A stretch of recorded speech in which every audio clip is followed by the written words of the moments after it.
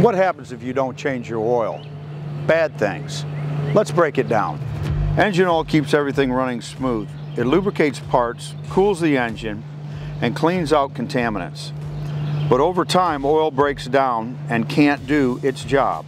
If you skip oil changes, here's what happens. Overheating. Oil that's broken down over a period of time cannot remove heat efficiently, which can cause engine components to warp, seize, or be damaged. Metal on metal damage.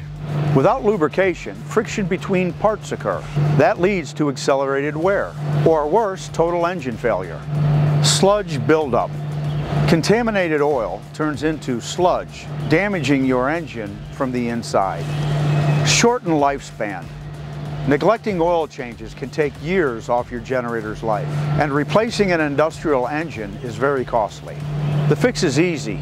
Change your oil every 250 hours or once a year. Make sure to like this video and follow us more on Tech Talk Tuesdays.